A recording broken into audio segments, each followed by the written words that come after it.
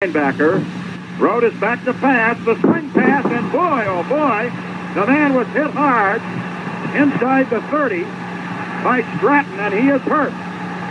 It is Lincoln, and he was really hit by Mike Stratton just as the ball came into his arms, and he was really shaken up on the play. And Ralph, you don't see any tackles harder than that